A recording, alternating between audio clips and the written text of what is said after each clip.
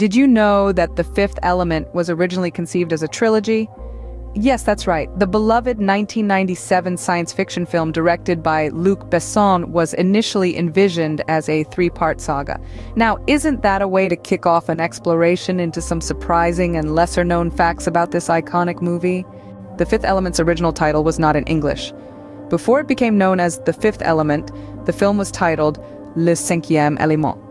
This, the original French title, which directly translates to The Fifth Element, Director Luc Besson is French, and he wrote the original script in his native language.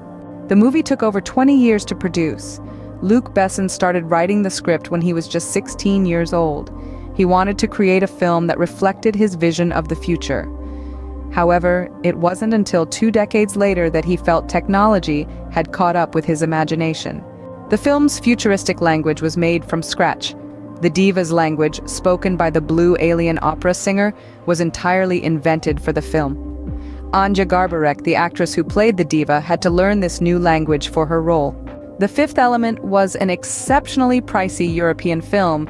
With a budget of $90 million, it held the record for the most expensive European film ever produced until it was surpassed by Asterix and Obelix Mission Cleopatra in 2002. The film's iconic costumes were designed by a fashion legend. Jean-Paul Gaultier, a renowned French fashion designer, created the film's unforgettable futuristic outfits. He designed more than 900 costumes for the film's characters. The Fifth Element is not just a beloved science fiction film. It's a project that was 20 years in the making with a unique language created just for it, a record-breaking budget, and costumes designed by a fashion icon. It was initially envisioned as a trilogy and its original title was in French. These facts offer a fascinating glimpse into the making of this iconic film.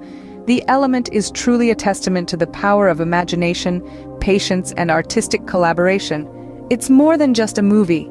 It's a piece of cinematic history that continues to captivate audiences around the world. Before we wrap up, let's take a moment to interact. If you've enjoyed this deep dive into the fifth element, do give this video a thumbs up and show your support by subscribing to the channel. We're on a mission to reach 1,000 subscribers and your support means the world to us. Got any suggestions for future videos? Perhaps there's another iconic movie you want to know more about. Drop a comment below and let us know. Your input helps us create content that you love. Thanks for watching and stay tuned for more fascinating insights into your favorite films.